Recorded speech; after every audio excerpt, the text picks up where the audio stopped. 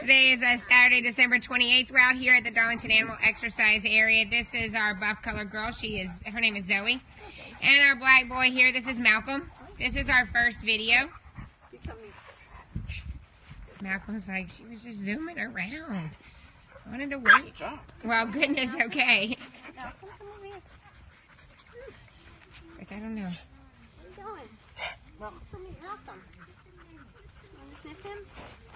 Nope. Malcolm says, no, but I'm ready when you come by. I can get a sniff. You want to come over? Come on and meet Malcolm. Here we go. Good job, Zoey. Good job, Malcolm. I know. That's a girl. Huh? Okay. Like I can. I know, buddy. Again, this is Zoey and Malcolm. And this is our first video.